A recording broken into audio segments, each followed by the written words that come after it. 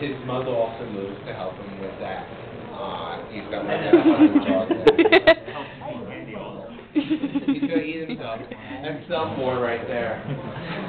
I actually don't think that exists in the phrase. Not yet. Yeah, Well, yeah. not yet. So now, um, does anyone, does anyone else have any questions or anything?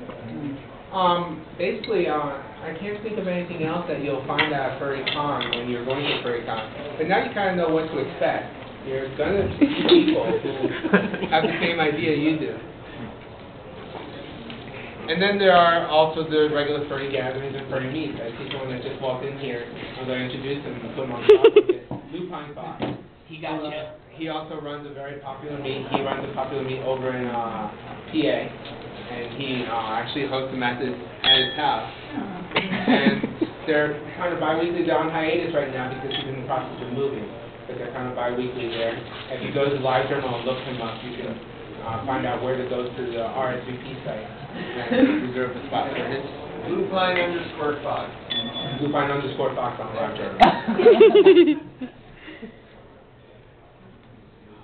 Oh my God. That's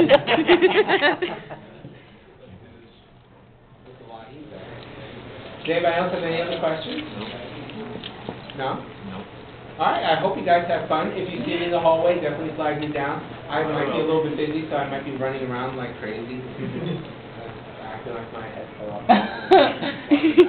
But if you see me and you're wondering what's going on, definitely flag me down and ask me what's going on, what's going about. I'll be happy to talk to you and introduce you to some people. And hopefully make your experience like my experience was the very first time I Very positive, happy experience and wanting to come back for more. I've been going to FurCon since, uh, two thousand, and I go from anywhere from four to nine conventions a year.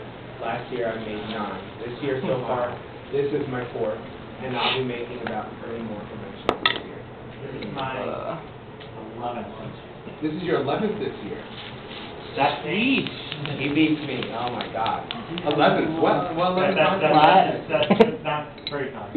Oh, no, FurryCon. how about FurryCon? Three. Okay, so this is his third. I did go to another convention a couple weeks ago called DexCon, which was held in East Brunswick, New Jersey. Ooh, thank you. The toothpaste candy.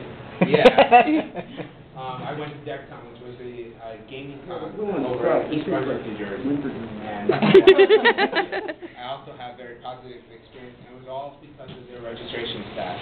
Their registration staff was extremely helpful and gave me,